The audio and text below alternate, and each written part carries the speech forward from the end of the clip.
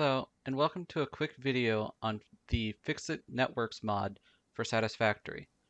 In this quick video I will be showing you how to set up an external editor for your game. The first thing you'll need is a drive holder and a hard drive.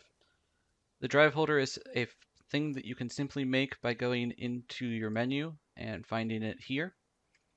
And the hard drive is something that you craft at a craft bench. Put the drive holder inside the computer, open it, and put your hard drive in it. Slide this up to actually insert the drive. And this is all we need to do on the computer for now. Now we need to go externally. I'll meet you on the desktop. Now that we're on the desktop, we'll need to do a few things.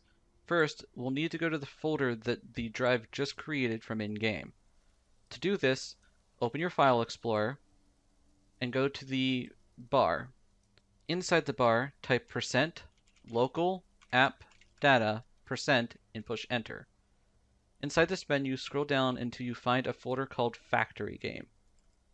Inside this folder, you will also find Saved, and then you need to go to Save Games, and then Computers.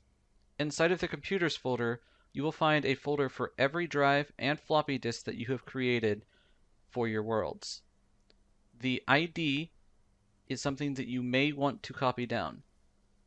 If you have multiple drives, then you'll need to figure out which one it is that you actually want to interact with. In this case, because we just inserted it, it's the newest folder that we want. Next, we'll need to get the bootloader code that will actually run the file that we put inside this drive. I've already created a simple bootloader that you can get down in the description or if you're on the Ficsit Networks Discord, you can also find it in the Your Scripts text channel. Copy this.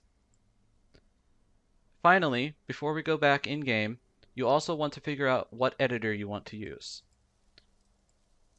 This is completely up to you, but if you do not yet have an editor and want a suggestion, if you're new to coding, Atom may be a good choice for you because it has a project manager. So if we open Atom,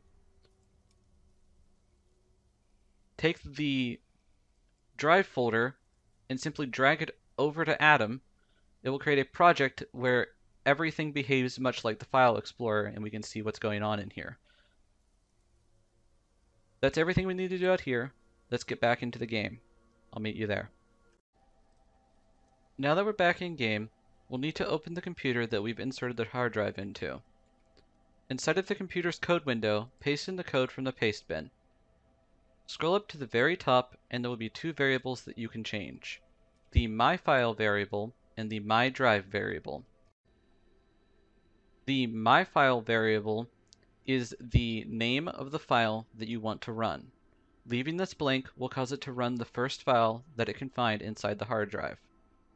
The myDrive variable is the ID of the hard drive. Leaving this blank will cause it to find, use the first hard drive that it can find. Note that it may find the wrong drive if you have multiple, or if you have a floppy installed.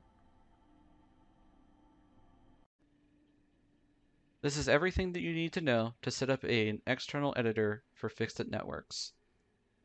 I'm Mana Phoenix. Thank you for watching.